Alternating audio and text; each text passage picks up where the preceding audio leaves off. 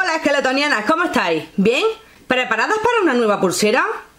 Vamos a necesitar una regla, tijeras, pegamento, un cierre para la pulsera, cola de ratón y un disco con. Para esta pulsera necesitamos 12 hilos y empiezo cortando 4 de 60 centímetros de largo.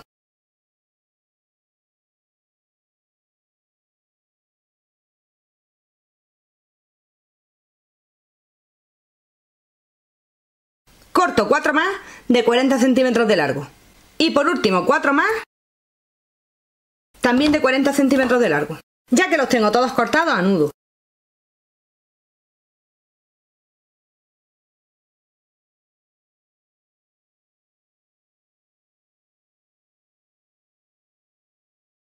Y colocamos los hilos de esta manera. Debemos colocar siempre en estos extremos los cordones más largos. Y ya nos disponemos a trenzar. Venga.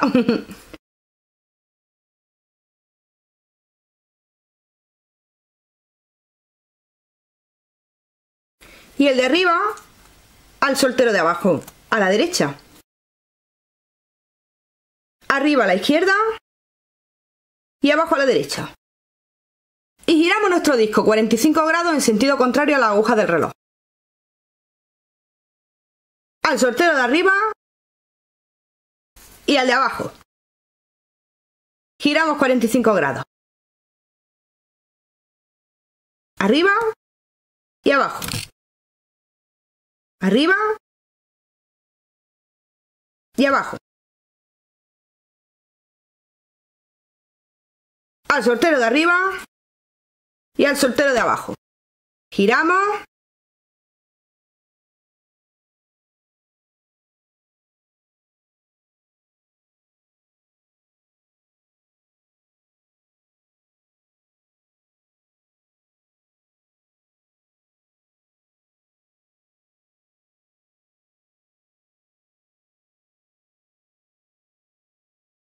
Truco del almendruco. Si alguna vez nos vemos obligados a tener que dejar la pulsera, que ya sabemos que es muy entretenida, que es muy guay, pero tenemos que hacer algo, la dejamos siempre con tres hilos. Y entonces ya cuando retomamos la pulsera ya sabemos cuál es la posición en la que tenemos que empezar. Así no nos perderemos nunca.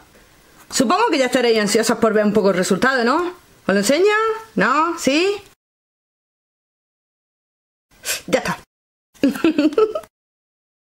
Y una vez ya que obtenemos la longitud deseada, pues sacamos los hilos.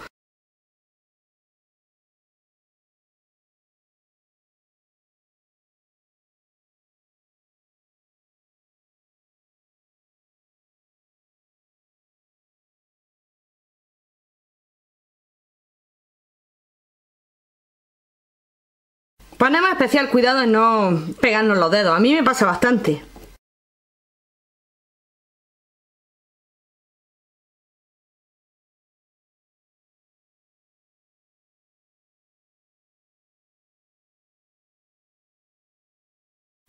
Y presionamos. Y una vez ya pegada, ya estamos listas para dar envidia con nuestra pulsera. ¿Os gusta el diseño? ¿Conocíais el disco cumijino? Yo lo llamo rosco, es más fácil de decir. Podéis encontrarlo en bazares chinos. Esqueletoniana, espero que las pulseras os hayan gustado. Ya sabéis, si os las hacéis, no dudéis en enseñarlas. Que paséis un buen día. Adiós. Y al soltero de abajo. Giramos.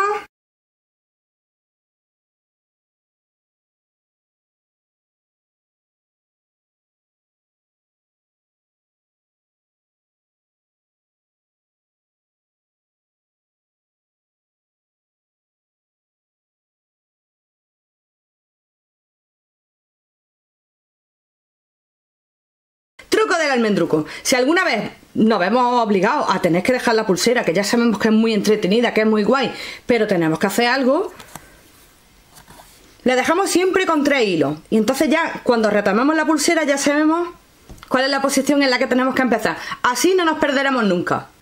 Supongo que ya estaréis ansiosos por ver un poco el resultado, ¿no? ¿Os lo enseño? ¿No? ¿Sí? Ya está. Y una vez ya que obtenemos la longitud deseada, pues sacamos los hilos.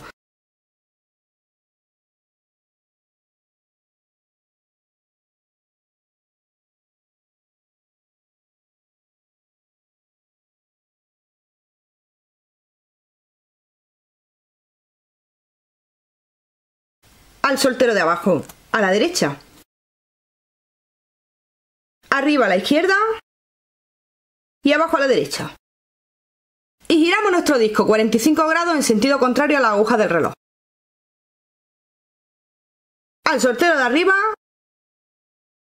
y al de abajo. Giramos 45 grados. Arriba y abajo. Arriba y abajo.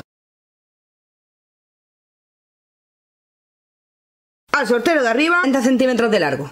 Y por último, cuatro más, también de 40 centímetros de largo. Ya que los tengo todos cortados a nudo.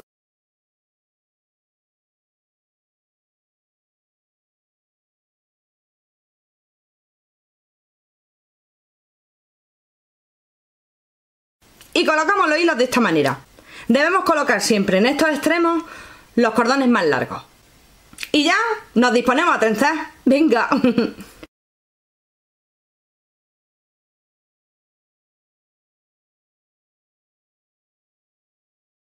y el de arriba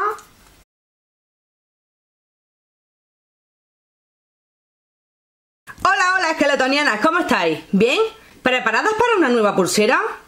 Vamos a necesitar una regla, tijeras, pegamento, un cierre para la pulsera, cola de ratón y un disco con mijimo. Para esta pulsera necesitamos 12 hilos y empiezo cortando 4 de 60 centímetros de largo.